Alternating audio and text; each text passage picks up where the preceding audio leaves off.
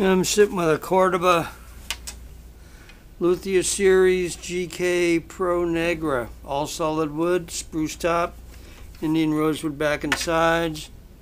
It's got a Fishman Pro Blend EQ system.